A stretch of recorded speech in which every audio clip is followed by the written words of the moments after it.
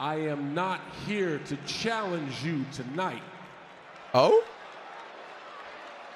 because I haven't earned it. I respect that, John. But This is why you're the greatest of all time. I do know someone who has.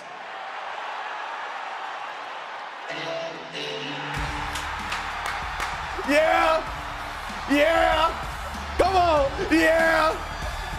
Dummy. Yeah.